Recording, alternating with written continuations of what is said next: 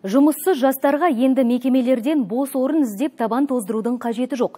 Себебі Алматының 8 ауданы бойынша жастарды жұмыспен қамту пункттері ашылды. Түйіндемені қай мекенжайда тапсыруға болады? Бос орындардың тізімімен қойылатын талаптар туралы әріптесім Сымбат Ноғай әңгімелейді. Жастар тәжірибесі бағдарламасы техникалық кәсіптерден бастап гуманитарлық мамандықтарға дейін әртүрлі салаларды ұсынады. Өтініш берушінің жасы 14 пен 29 аралығында болу керек. Әзірге қала бойынша мобильдік ресурстық орталықтың 8 пункті жұмыс істеуде. Филиалдарға түскен ақпарат өңделіп, бірден қалалық халықты жұмыспен қамту орталығына жіберіледі. Одан бөлек шұғыл талап етіледі газетінің сайтында жарияланады. Ал тиісті жұмыс орны табылғаннан кейін ондағы ақылы тағылымдама 6 айға дейін созылуы мүмкін іс шара алматы қаласы жастар саясатын дамыту мемлекеттік қоры және де алматы ресурстық жастар ресурстық орталықтары бірлесіп өткізіліп отырған жастар іс тәжірибесі атты бағдарлама болып есептеледі.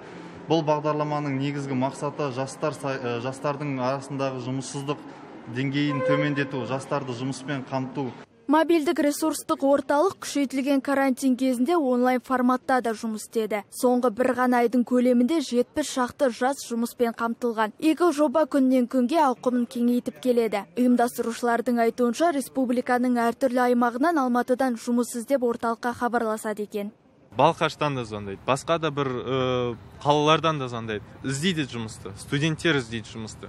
Осы біз келесі айда келеміз соған біз жұмыс іздеп отырмыз. Сіз бізге көмектесе аласыз ба дегендей.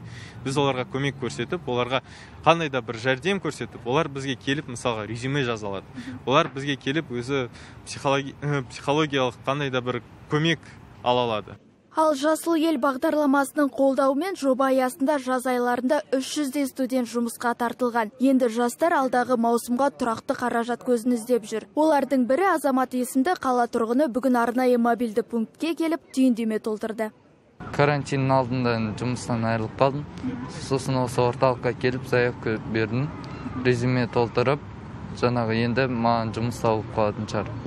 Айта өту керек, бүгінде 15-тен 28 жасқа дейінгі алматылық жастардың арасындағы жұмыссыздық деңгейі 6 пайызға жеткен. Ал жоба аясында 1618 адамды жұмысқа орналастыру жоспарланып отыр.